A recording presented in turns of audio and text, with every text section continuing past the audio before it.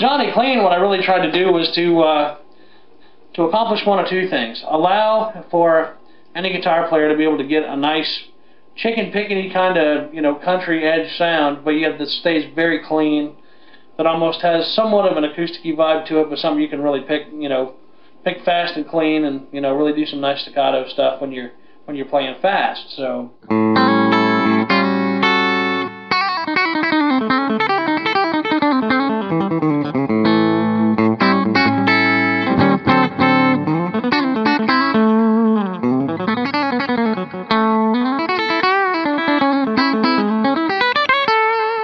And then what I also love about this clean tone is that when you're playing some jazzy stuff, it's nice whether you're in a when you're in a single coil mode or humbucker mode.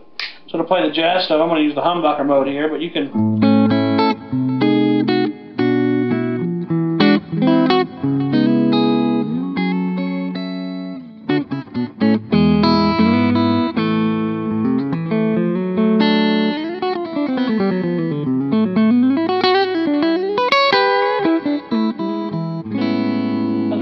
Nice, clean, real clean, clean sound, and of course you can uh, utilize this sound for pretty much any any uh, genre of music, whether you're playing country or jazz or you know uh, some funky rhythm stuff or or what have you.